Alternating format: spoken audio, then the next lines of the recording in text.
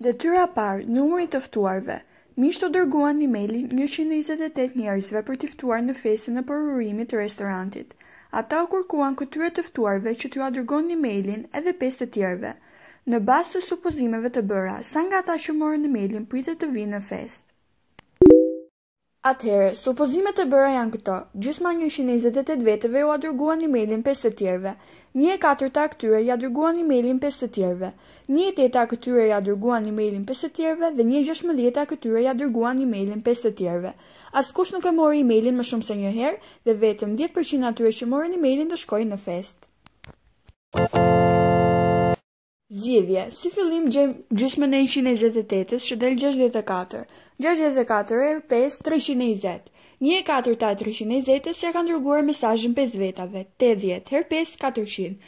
Një e teta e katërqindës pesëdhjetë, pesëdhjetë herë pesë, dyqind e pesëdhjetë. Një e gjashtëmbëdhjeta e dyqind e pesëdhjetës ia kanë dërguar mesazhin pesë vetave, pesëmbëdhjetë herë pesë, shtatëdhjetë e pesë veta. Atëherë mbledhim të gjitha rezultatet dhe del numri një mijë e njëqind e shtatëdhjetë e tre.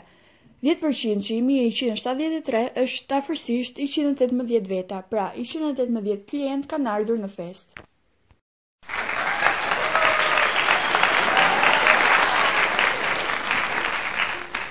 Detyra dy, Tenda. Ata menduan të merrnin me qira tenda të llojeve të ndryshme. Një lloj tende është treguar në figurën në shkallë.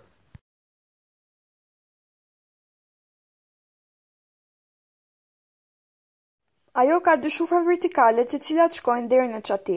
Litarët AP, BQ, CQ dhe DP bashkojnë pikat A, B, C dhe D, të cilat janë në nivelin e tokës, me pikat P dhe Q të cilat janë tetë pikë gjashtë metra mbi tokë.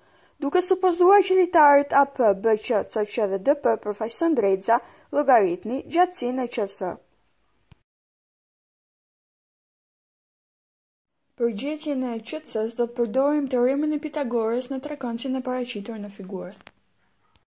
Për të zbatuar teoremën e Pitagorës, si fillim duhet të kemi dy brinjë, të cilat i gjejmë tek figura. Atëherë, dy katrorë paraqiten si katër metra. Brinjët na dalin, njëra tetë metra dhe tjetra dhjetë metra. Atëherë, bëjmë zëvendësimet tek teorema e Pitagorës dhe na del brinja QC dymbëdhjetë pikë Kërkesa tjetër na kërkon të gjejmë këndin që litari CQ formon me boshtin horizontal. Në trekëndëshin kënddrejtë të paraqitur në figurën e mëparshme, do të gjejmë tangentin e brinjëve dhjetë metra dhe tetë metra. Tangenti del një pikë njëzet e pesë dhe del që këndi Q është pesëdhjetë e një gradë, nëntëdhjetë minus pesëdhjetë e një gradë del tridhjetë e nëntë gradë këndi me boshtin horizontal. Një tendë tjetër ka formën e cilindrit me një kon në majë. Llogaritni vëllimin e tendës.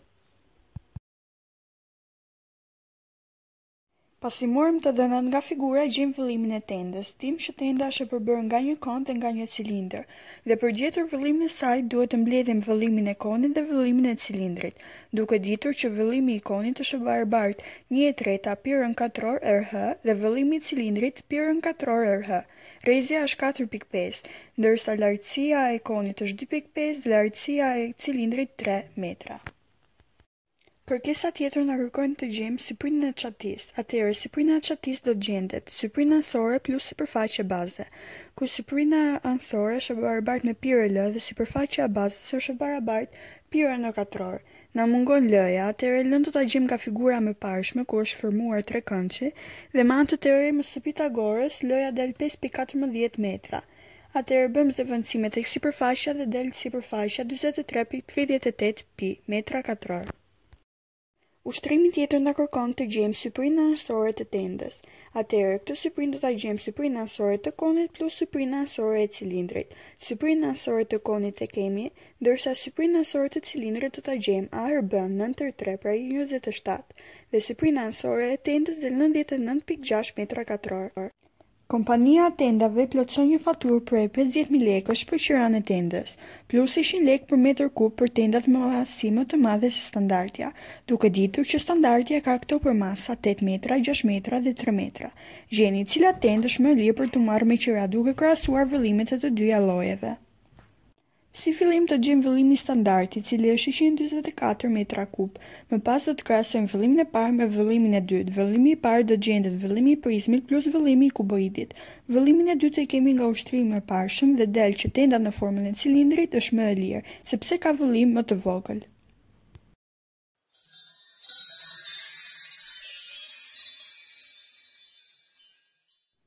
Në materialet reklamuese që do të përdoreshin në fest, miqtë shkruajnë sloganin Restoranti më pranë stacionit të trenit. Argumentoni nëse ideja e tyre është e saktë duke gjetur vektorët shtyllë, përdorni metrat si njësi, TB, TA dhe TR.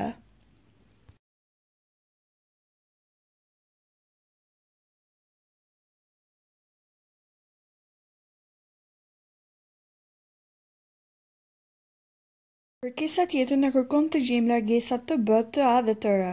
Atëherë, këto largesa do i gjejmë duke formuar tre trekëndësha kënddrejtë, ku brinjat e përmendura do të jenë hipotenuza.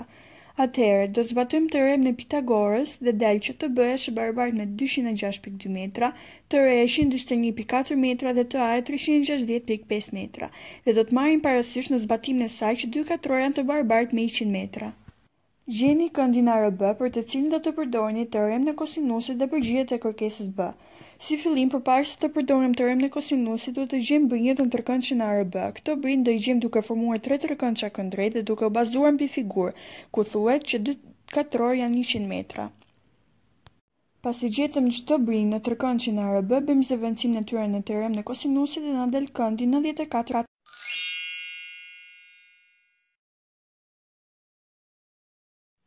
Miqtë i vendosin çmimet e pjatave si më poshtë, të gjitha pjatat e para, katërqind lekë, pjatat kryesore, një mijë e pesëqind lekë pjata e shtrenjtë, një mijë e treqind lekë pjata mesatare dhe një mijë e njëqind lekë pjata e lirë, ndërsa ëmbëlsira kushton treqind lekë.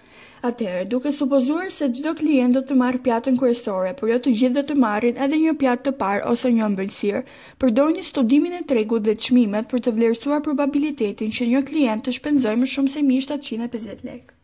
Rezultatet e studimit të tregut janë si më poshtë.